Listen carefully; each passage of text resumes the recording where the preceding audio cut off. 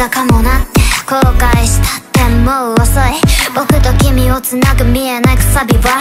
ドミノ崩しよりもずっと脆い。幾度なく同じこと繰り返した。このかぼすい手せ切れる前にな。ちょっと引えかいとすり減った枝気づいてなかったわけじゃないよ。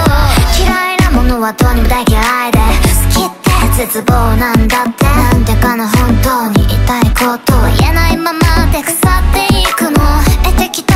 僕失って泣いてばっかじゃいられなくて視界がふわっと戻れない二度と7日目の巣までじゃあねバイバイまた明日ね